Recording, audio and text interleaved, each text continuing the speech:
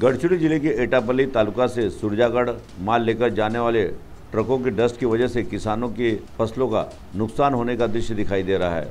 फुलसिंह नगर के पास स्थित खेत में कपास की फ़सल लगाई गई है, मगर डस्ट की वजह से कपास का काफ़ी बड़ा नुकसान हो रहा है। और क्योंकि डस्ट के चलते कपास के पेड़ काले होते जा रहे हैं, रास्तों पर काफ़ी डस्ट जमा है और रास्ते किनारे या खेत होने से डस्ट का असर कपास के पेड़ों पर हो रहा है। संबंधित कंपनी के लोगों को पानी डालने की विनती की जा रही है, मगर किसान को समाधान कारक जवाब नहीं मिल रहा है। किसान ने न्याय देने की मांग संबंधित कंपनी तथा प्रशासन से की है। तो सुनिए इस संबंध में किसान ने क्या कहा, स्वयं उन्हीं की जुबानी।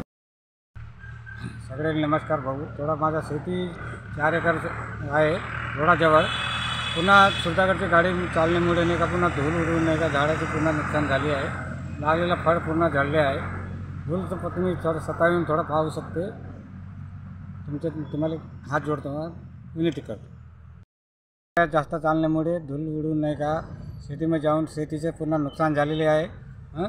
ते सुधागडचे गाडीवाले ते प- पण पाणी टँकरवाले सांगून बाबू दहा वेळा सांगलो आहो थोडं पाणी टाका तिथपर्यंत काहीच मग तुम्हाला धन नाही तुम्ही पाय हात जोडतो पण थोडं पाणी टाका माझं शेतीचं नुकसान होऊन राहिलं आहे मग मग तुम्ही येऊन पहा नाही तर शेती सोडून देतो. का अतिक्रमण नाही आहे होत नाही पट्टीची जागा आहे.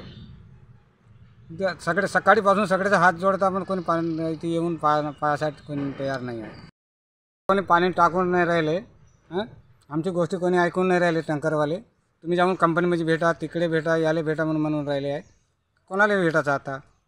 आम्हाला काय माहिती आम्ही शेतकरी माणसं जाऊन को- कंपनीला जाऊन भेटायचा? हं?